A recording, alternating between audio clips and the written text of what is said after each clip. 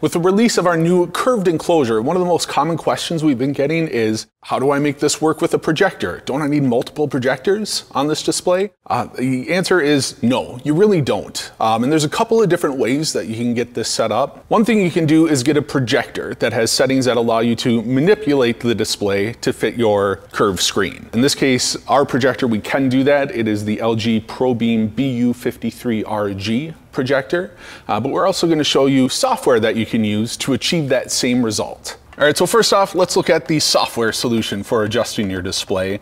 So the software we are using is called Immersive Display Pro. Um, you'll see it listed online also as Fly Elise NG. The license that we have is the Immersive Display Pro with the USB dongle. You can get it without the dongle. It starts at 100 euros. With the dongle, it's 170 euros. So that's what we're using, and we will include a link to that below. Uh, so we are just gonna open that up. And what we want to do is, uh, first we have to configure our alignment. Uh, so we click on this, we're gonna get a pop-up over on the window that we are configuring, but I'm gonna drag it on over here so I can see it better. What we see is a bunch of text on the screen. Uh, it's not very conducive to what we're looking to do. Uh, so what we're gonna do is click here uh, on this drop-down menu, and you'll see there's all these different selections, and that's going to change what appears on your screen. What we found works best is this one, it's called Checkerboard 2. And when you select that, you'll see you get well, a checkerboard on the screen with different colors and numbers and lines across the screen.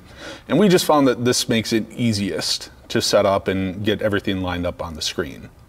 Uh, next thing we're gonna do is look at our control points. If you look up here, uh, you'll see we have it set for five horizontal and four vertical control points. Again, this is just what we found works best. You can always adjust that up or down depending on your needs.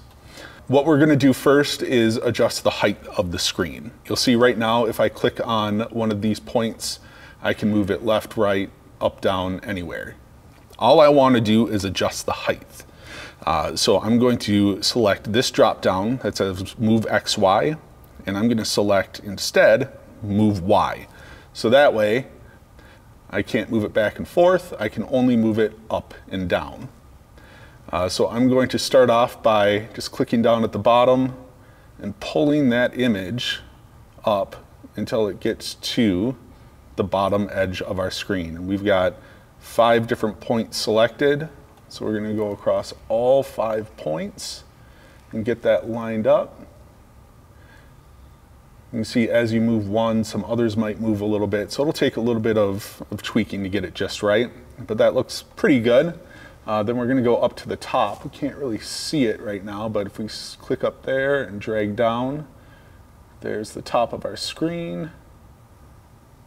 There's point number two. Over in the corner for point number three. We'll head back to the left side, find number four. And there we go. That looks pretty good across the top. Maybe make a little bit of an adjustment right there. Uh, so now that we've got the vertical portion set, we're gonna go in and do the same thing only with the horizontal. So what I wanna do is switch this from move Y to move X. So that way I can't move it up and down anymore, just side to side. So I'm gonna go over here and start bringing these four points in. So there's one there, one there, Way down in the corner, we've got another one. And as you see, when I adjusted that one in the corner, now you can see, I think you can see, that it affected the horizontal positioning on some of those edge squares. So we are gonna have to go back and adjust that. Um, but then we'll go over to the right side and kind of do the same thing. Just have to lean back so I can see what I'm doing here. And we'll make those four adjustments. Perfect. So now we've got the horizontal lined up. I want to go back and kind of tweak the bottom portion. So I switched it back to just move Y. We're going to go into that corner in this corner and move those up to get that image off of the floor. So I think that looks pretty good as far as getting the entire screen filled. Um, but you'll notice that we now have these boxes that are all different sizes, these diagonal lines that aren't straight. What we want to do is try to balance all of this out. Uh, we want to try to make all of those boxes as similar as we can in size. We want to try to make those boxes so they go straight across the screen instead of you can see at some points they kind of dip down. Uh, so it's just going to be a matter of, again, playing with everything, trying to get it lined up correctly. To do this, what I'm gonna do instead of doing a single point move where I can click on this spot right here and it will move just that point, I wanna click and move the entire column to help try to get everything lined up. All right, so now that we have the screen, you know, pretty well filled in, uh, we're gonna try to get everything nice and even on the screen. So we want to try to get these boxes looking like they're relatively the same size. I have, right now, uh, we're moving just the Y axis. I'm trying to adjust this, adjust this vertically to make all of these squares on here relatively the same. Um, and again, this is just going to take some trial and error on your part uh, to, to get it to work. And I, we also want to look right here where you can see this line right now, it goes across and it dips down right here. Well, we don't want that. So we're gonna try to get all of these lines on the screen to be nice and perfectly flat horizontal.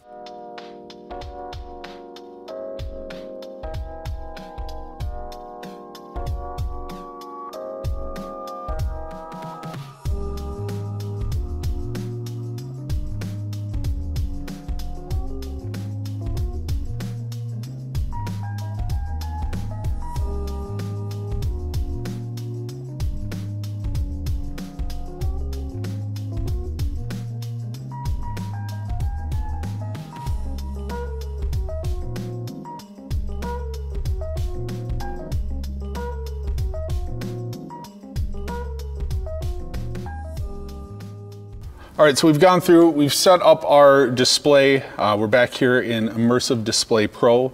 Uh, first thing I'm gonna do is just do a save as, and we're going to do uh, just a file. I'm gonna name it test one. And then to actually get this to display on your projector, you hit enable desktop warping, and you'll see that your projector switches over, and we now have a screen totally filled with an image. You just need to make sure that when your computer is starting up that you open up Immersive Display Pro and that you enable that display warping. And you should be able to set this program just to automatically run on startup. So there's other tutorials online where it really gets a lot more in depth. This is just kind of the basics of what you need to get up and running with our curved screen displays. So next up, we're gonna show you how to adjust the image using the warping features that are available on some projectors. Uh, the projector we're using today is the LG ProBeam BU53RG. Um, and it's got uh, a really easy way just to do that right here. So the first thing I do is click the settings button on the remote and then uh, under easy settings we're going to go to the installation wizard. On the installation wizard we're going to look for the edge adjustment and in here you see you can adjust either 4, 9, 15, or 25 points. Uh, we found it's easiest just to do the 9 point adjustment. So we're going to select that. And then all we do is go through and select the different points on the screen that we want to adjust. Um, at first it might be a little tricky to see where you're selecting, but you can see in the upper left-hand corner there how that arrow is kind of highlighted maroon. That's what I have selected right now. I push up and I'm now up in the upper left-hand corner. So I'm gonna hit the OK button on the remote to select that. And all I have to do is push down, go to that down arrow and start clicking on the OK button. And every time you click OK, it's gonna adjust that image slightly. So we're gonna keep clicking OK until we get that corner pretty well situated. And then we'll go over here and start moving that in using that right arrow button. You can see we've got that pretty well situated in that top corner. So we're just gonna go through each point on the screen, each of the nine points, and make the adjustment. So we'll start by going around the edge. Again, we're just gonna click on the right arrow over and over until we get that image lined up with the edge of the screen. And then we'll go down to the bottom corner. The same thing. So I'm taking it out a little far there. We'll go back. Then let's go to the bottom and let's bring that up. Looks like we got a ways to go. If you hold it down, oops, I thought if you held it down it would keep going. There it goes. So, at least go for a little while.